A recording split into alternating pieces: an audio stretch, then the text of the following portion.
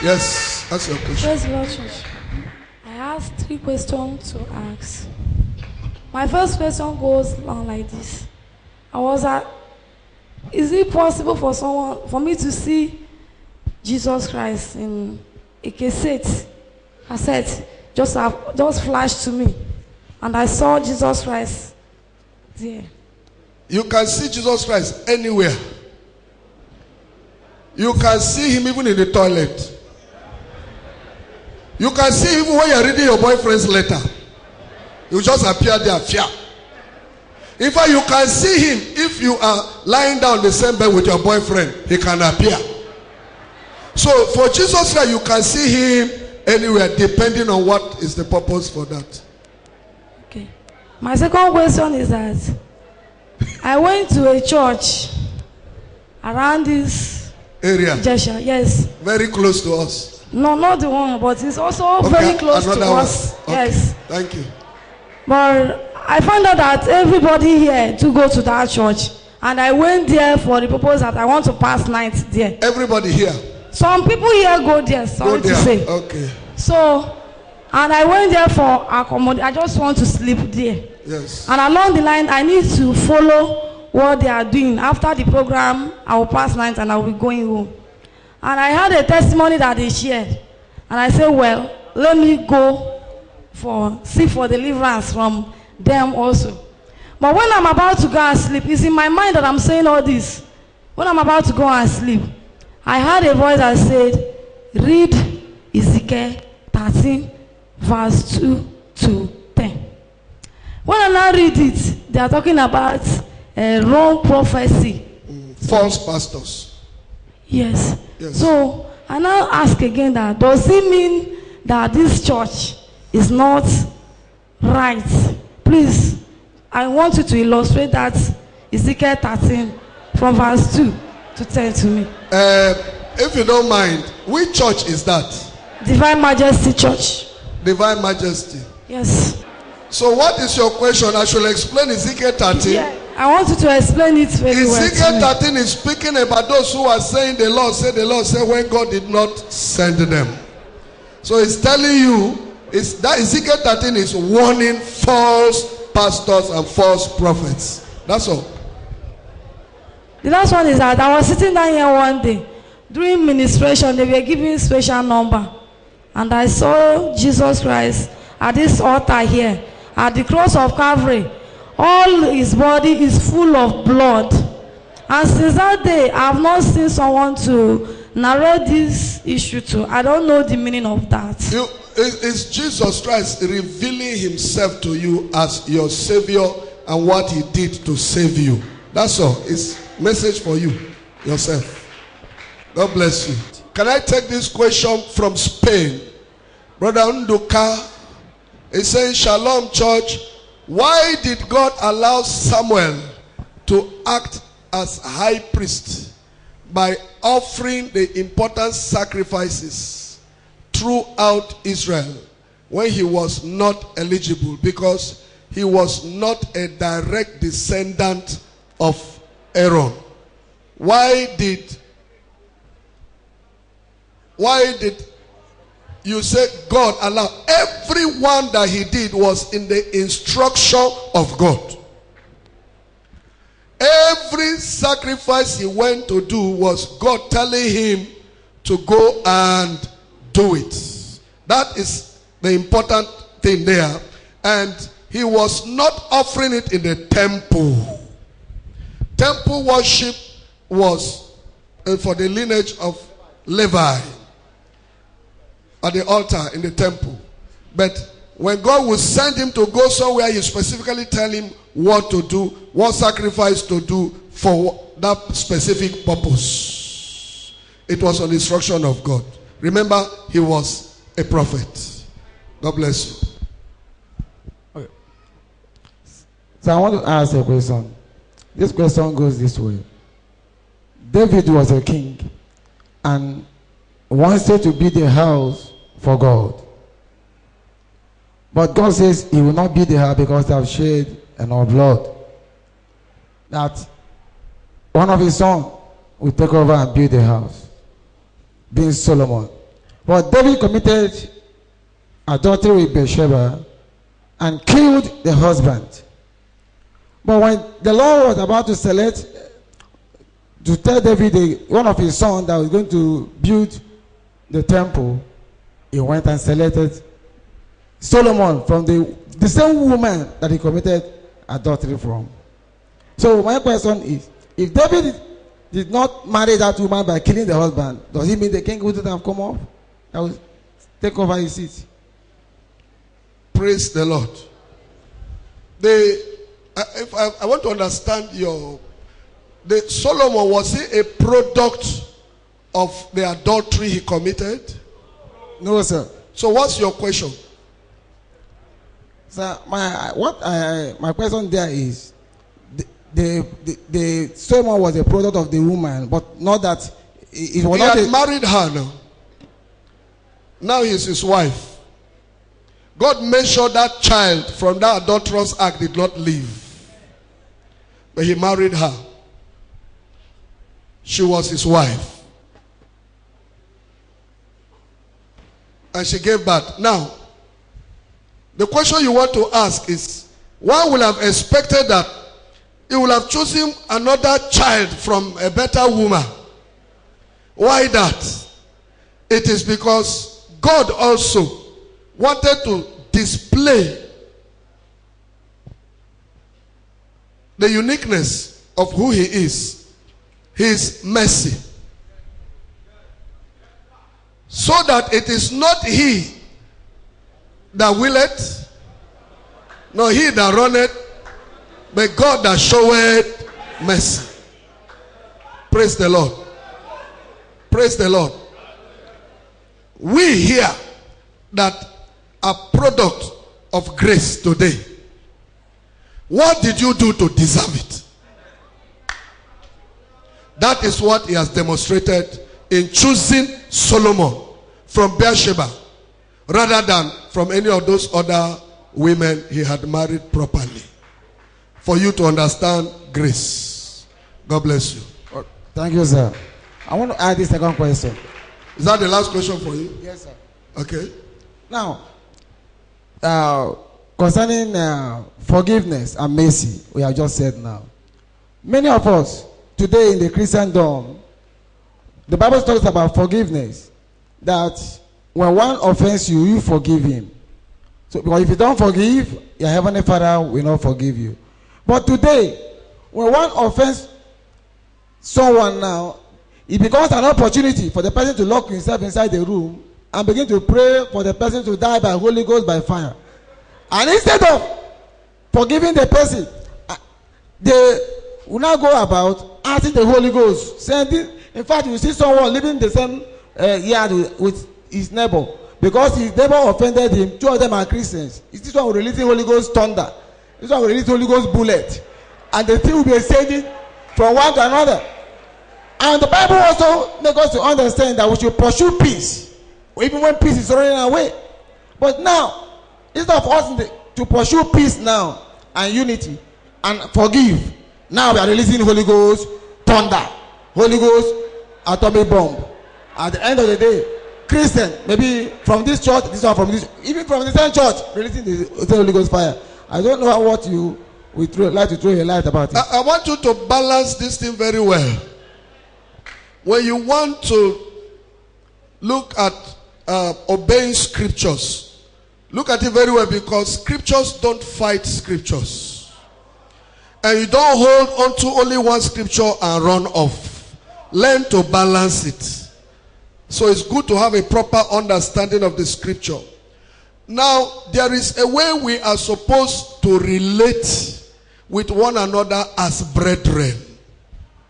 But I also want you to know that the church has reached a stage now where the same Apostle Paul that taught us to pursue peace with all men, he handed over somebody to the devil. Am I correct? But he's the one that said pursue peace. Then yet somebody else offended him and he said he handed him over to the devil to learn not to blaspheme.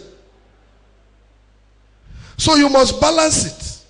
Now the same Bible that said we should forgive, then came down again and said that For we wrestle not against flesh and blood. So it lets us know that although we walk in the flesh, we, we, we uh, how did he put it? We do not war after the flesh. It means there is a battle to be fought. Now, the Bible, the same Bible now, tells us that if your enemy is hungry, give him food. If he's thirsty, give him drink. He said, by so doing, you are heaping coals of fire upon him. It's the same thing. Now, so it means you should balance these things up. The truth about it is this. He said, Our weapons are not carnal. Therefore, it is wrong for a Christian to see somebody who wants to kill him, who is his enemy, to take another, you know, a gun, a stick, whatever it is, a metal, and go and smash the person because he wants to kill you. He said, You don't do that.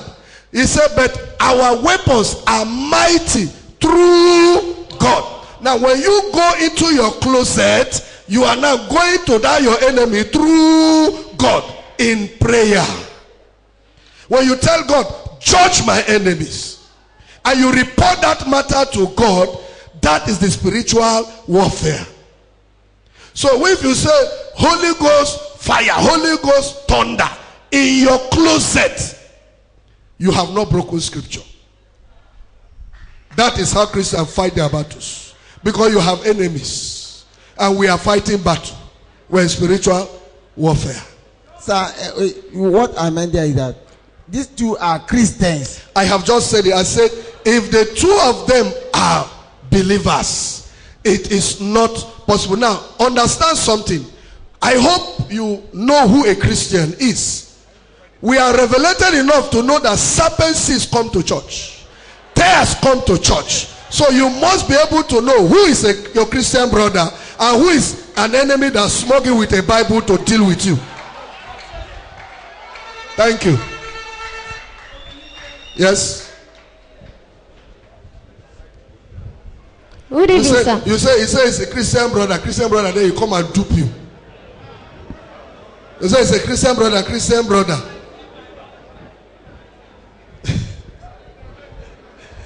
We know better. By their fruits, you know them. okay, Good evening, sir. God bless you. My question is there's a time you are saying about uh, a sin that is unforgivable against the Holy Ghost. I want to know how many they are and where can we find it in in the Bible. Okay, open Matthew chapter 12. It's not me that said it, it's the, the Lord Jesus Christ that said it. Now, we will read this so that you get the complete picture from verse 22. And please let somebody learn it because there are people that sit down even in a church like this and they are they may be guilty of blasphemy of the Holy Ghost. Listen carefully. Verse 22, Matthew chapter 12. Then was brought unto him one possessed with a devil, blind and dumb, and he healed him. He so much that the blind and dumb both spake and saw. And all the people were amazed and said, Is not this the son of David? But when the Pharisees heard it, they said, This fellow does not cast out devil but by Beelzebub, the prince of the devils. And Jesus knew their thoughts and said unto them, Every kingdom divided against itself is brought to desolation, and every city or house divided against itself shall not stand. And if Satan cast out Satan, he is divided against himself. How shall then his kingdom stand? And if I by Beelzebub cast out devils, by whom do your children cast them out? Therefore they shall be your judges. But if I cast out devils by the Spirit of God, then the kingdom of God is come unto you. Or else, how can one enter into a strong man's house and spoil his goods, except he first bind the strong man, and then he will spoil his house? He that is not with me is against me, and he that gathereth not with me scattereth abroad. Verse 31. Our emphasis now. Wherefore I say unto you, all manner of sin and blasphemy shall be forgiven unto men. But the blasphemy against the Holy Ghost shall not be forgiven unto men. And whosoever speaketh a word against the Son of Man, it shall be forgiven him. But whosoever speaketh against the Holy Ghost, it shall not be forgiven him, neither in this world, neither in the world to come. That is the sin that is not forgiven here, no hereafter. What is that sin? What is that sin? Listen, that sin is to see the Holy Ghost in action. Then you, out of jealousy, not ignorance. If in ignorance you say it, it is not blasphemy. Unbelievers don't even commit blasphemy because all of us were unbelievers one time. When we watch television and we saw in the host in those days doing miracles. All these people are deceiving people. He say they heal. Make it go hospital now. Not be hospital sick people. Then which one did they do? You know it's ignorance. Eh? But when anybody who sees somebody genuinely operating a gift of the Holy Ghost and manifesting it, then out of jealousy, so that people will not leave your church and go to that church, then you cook up a story and begin to say he's using occultic power. You know that he's using a genuine gift. You know he has something you don't have. And you know only God can do that. But you are seeing that people will soon leave your church and go there. Or you are operating your gift. Another gifted person rises up. And very soon his own level is higher than your own. The people are leaving you now and going there. Then you begin so that people will not, you will not lose your customers. Then you begin to go behind and say, that man, oh, that sister, oh, now juju should they use. Now this one they use. The Bible says that sin is a blasphemy of the Holy Ghost. It will not be forgiven here, nor hereafter. Thank you. Excuse me, sir. Is, Yes. it, is it only that one? There's no other one. There is no other one. Any other sin is forgivable. Any other sin, any other sin, any one that you have committed, if you have repented and asked God to forgive you, He will forgive you. Any other one. But this one, you know why? Do you know why it is not forgivable? I've not explained that. The reason is this any other sin against man, against the Son of Man, remember, at the time he was saying so, they were busy calling him all manner of names. He came to be humiliated, he came to be rejected, he came to be given a shameful death. You can say anything, but after he has conquered up to the cross, and now he comes back to his church that he has purchased through that suffering. And now he is manifesting himself again in the church. And you want to do to him what you did to him before you sent him to the cross, he will not forgive you. He demonstrated in the Old Testament through Moses. That's why Moses did not go to the promised land. You cannot strike Jesus Christ two times. That rock was Christ. The Bible says so. It's a type of Christ. He says, Speak. Uh, the first one was strike him. They struck him, they hung him on the cross and humiliated him. The second time again, he said, Speak. Instead of speaking, what did Moses do? He struck him. You cannot strike Christ a second time. And many of us, that is what we are doing. crucifying the Lord afresh. The Bible put it that way. And he will never take it again. God bless you. Yes, Praise the Lord, church. that's the last brother. Yes. Yes, um, Pastor, my question goes like this. Um, I remember a place I read in the Bible. He said, It's not the will of God for his people to perish.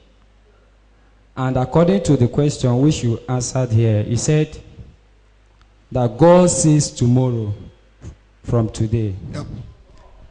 But I now think, as in inside of me, I, I asked this question. I say, why did God destroy Sodom and Gomorrah without America? Si- Since I have I heard a message here, you, you said that the sin that America is uh, committing is greater than the one Sodom and Gomorrah committed. And I asked, why did God did not destroy America and gave them the uh, power to destroy? Sodom. Praise the Lord. If I, is that your question? Yes. My question is, why did God destroy Sodom and Gomorrah rather than destroying America? Okay, can you can you open Second Peter chapter three in your Bible?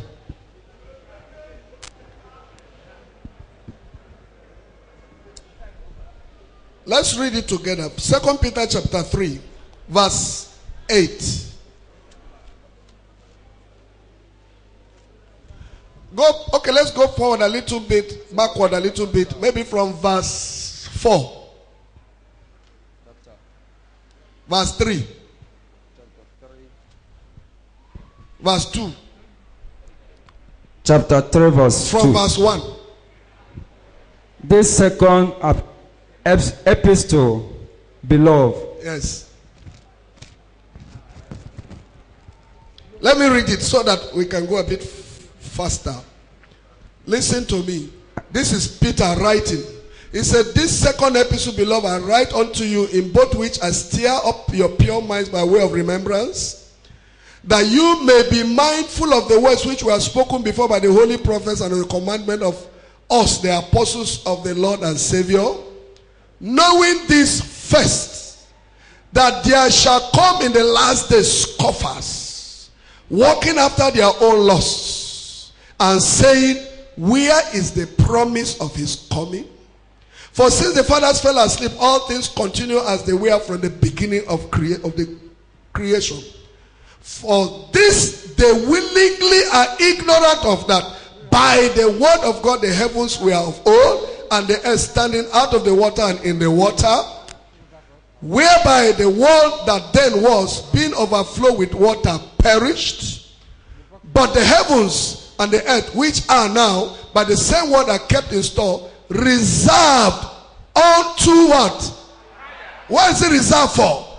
Unto fire against the day of judgment and perdition of ungodly men. Verse 8. But beloved, be not ignorant of this one thing that one day is with the Lord as a thousand years, and a thousand years as one day.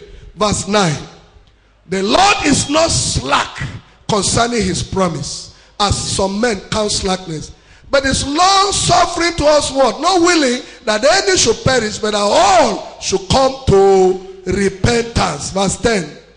This is where I am going. But the day of the Lord will come, will come as a thief in the night, in the which the heavens shall pass away with a great noise, and the elements shall melt with fervent heat. The earth also and the works that are therein shall be burned up. What is your question? My question, sir. You should not ask question if you were following. Again, I have another question. The first one is it answered. Yes, sir. I'm true. So the fact that the sinners fire never fall on them does not mean that the fire will not fall. Fire will fall. Judgment is hanging. It is thus say the Lord. The days of Noah, he said, as it was in the days of Noah, so shall it be at the coming of the Son of Man. So go back to what it happened. God told Noah that he's going to destroy the earth with water. Scientifically, it was not possible for the whole world to perish with water because they didn't have rain. They didn't have rain. In the morning, rain will just, you know, dew just cover everywhere. No rain, nothing at that time. And the, by calculation, Noah preached 120 years. God waited 120 years before that water came down. Once he say it, it will come to pass. He said the elements here will burn with fervent heat, fire will destroy everything. And they have been saying it for almost 2,000 years. But he say, you are thinking that I stayed long. Before God, it is just two days yet. Since he said it. Because our own 1,000 years is his own one day. So we have only spent 2,000 years. So as far as God is concerned, when he said, I am coming soon, it is only two days yet. The certainty that the destruction is coming. And, and people don't believe that. Because unless they see it before they'll believe. Small Ebola now, see everybody. If you want to shake the brother by your side now, you go say, brother, God bless you. He's afraid.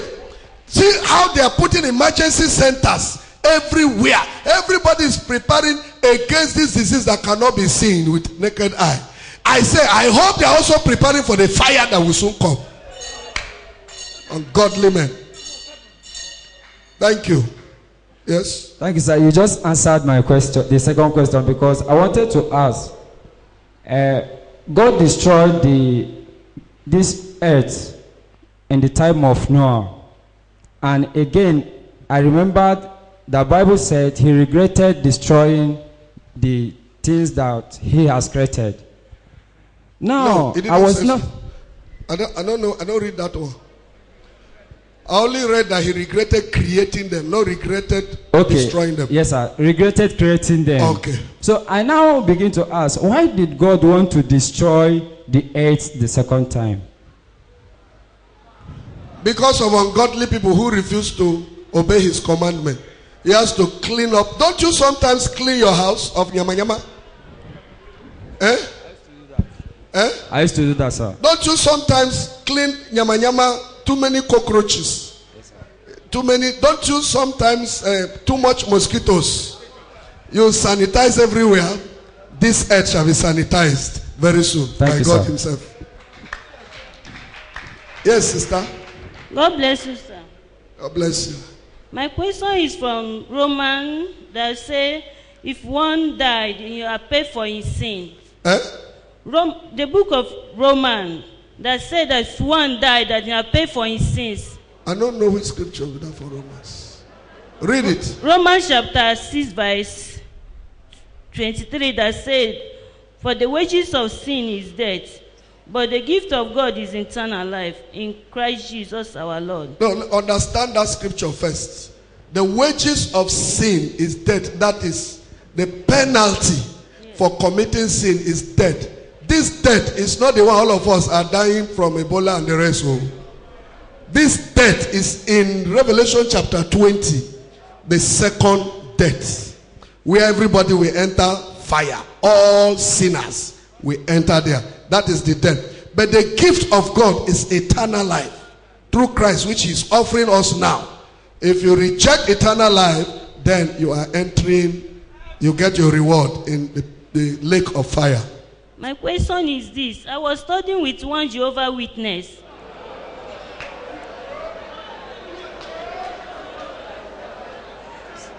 Yes? So she said that the if one died, that the person have paid for his sin. We are, we are talking about resurrection, the resurrection of the righteous and the unrighteous. So she said that if one died, that person have paid for his sins. That there is no resurrection. That if you die, if you are, if you have opportunity now and you are hearing the word of God, you do not repent. If you died, you, you, are, you are not going to be resurrected. There is nothing like judgment again. That you have paid for your sins. Well, from my explanation now, you know that whoever you met, you know, is wrong. Open uh, Revelation chapter 20. Let's read it from verse 4. Revelation chapter 20. Sister, just watch the screen. Oh, okay, you can follow if you are there. From verse 4. And I'm reading it down. And I saw thrones, and they sat upon them, and judgment was given unto them. That is, you know, okay. And I saw the souls of them that were beheaded for the witness of Jesus and for the word of God, and which had not worshipped the beast, neither his image, neither had received his mark upon their foreheads or in their hands. And they lived and reigned with Christ. How many years? A thousand years, verse 5.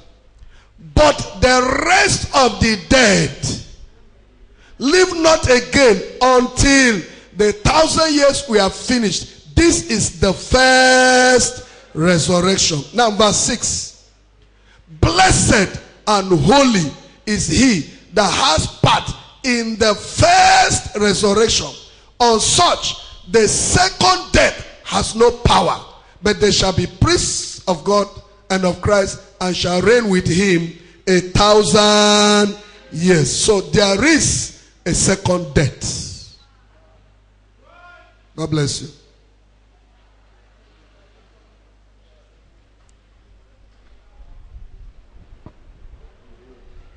My second question is from Revelation chapter 14, verse 14. They're talking about the harvest, so I don't really understand. Read it, let's hear.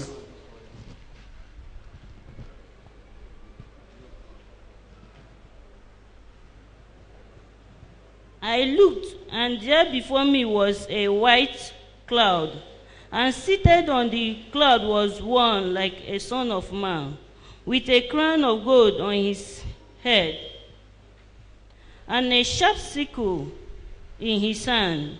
Then another angel came out of the temple and called in a, in a loud voice to him who was sitting on the cloud Take your sickle and reap, because the time to reap has come, for the harvest of the earth is ripe. So he who was sitting, seated on the cloud swung his sickle over the earth, and the earth was harvested. My question is this. I was studying with that woman. She was saying that the harvest was God taking away the evil ones out of the earth. So I did not really. Yes, now, but how will he take away the evil ones out of the earth? Through the white throne judgment. Now, notice something here. There are two judgments that are awaiting unbelievers. The first judgment is the day of the Lord. The day of the Lord there is when Christ will be coming to start the 1,000 years reign together with the bride. When he will be coming, it is called the day of the Lord. That is when Matthew 25 judgment of nations will begin. You are, you are a new member in the church. Yes, sir. Okay, can you people give her the divine agenda? The message to listen to it. Do you have DVD player at home? Yes, sir. Good. Do you have NEPA regularly in your house? Yes, sir. Thank you. Now, no, it's okay for the benefit of somebody who may want to know what you are asking. So, that period, that period, when it speaks about the wine press there, that is judgment. There's going to be bloodshed.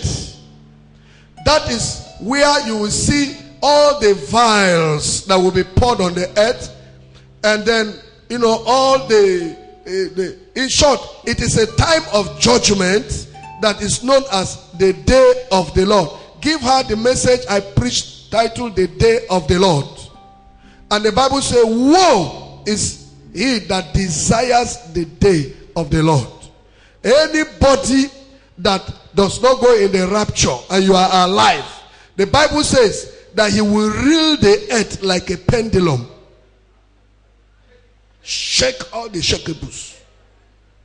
And he said, by the time he finished, he said, man will be few scarce as gold. He will leave just few people on earth to just enter the millennium and repopulate the earth. He will clean up the earth of all the nonsense that's been going on. Rearrange the whole earth, rearrange the weather, rearrange everything. That is what he will do. By the time he finish, you jam a human being, you say, Ah, you are alive? Amen. okay. Is that the one? Is that the tape? Which one is that? Divine, divine agenda and uh, the day of the Lord. Thank you. Give her. Church, praise the Lord.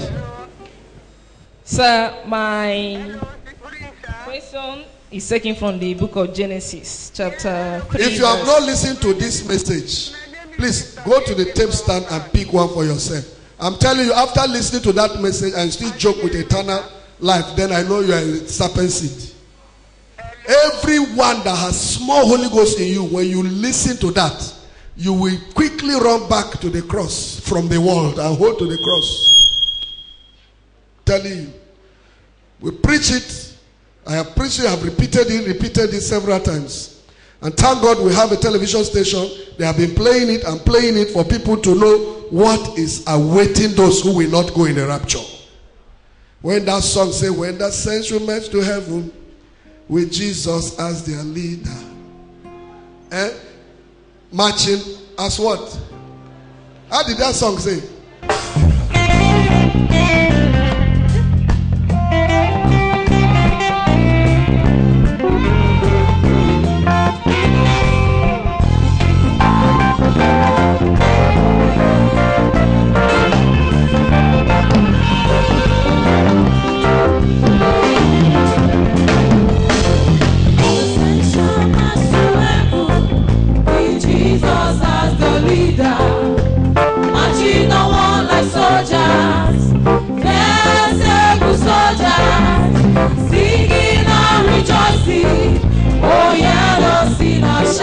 Shouting.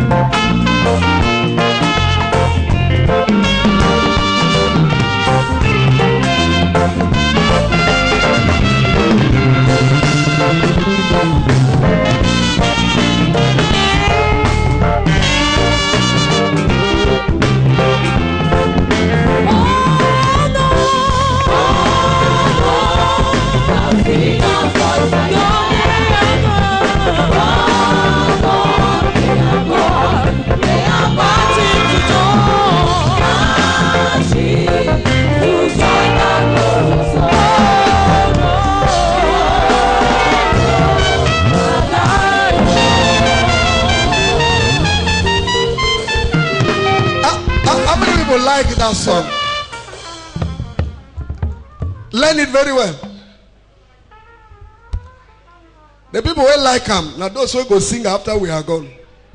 Learn it very well. But one of these days you will come for vigil here. You will not see some of us. Because me, this heaven, I must go. I don't know who else here wants to